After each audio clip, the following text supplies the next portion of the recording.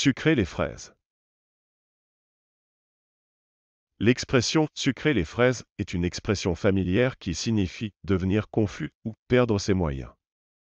Elle peut aussi signifier trembler ou avoir des spasmes. Par exemple, si tu es invité à parler devant un grand groupe de personnes et que tu stresses, tu pourrais commencer à sucrer les fraises et avoir du mal à parler correctement.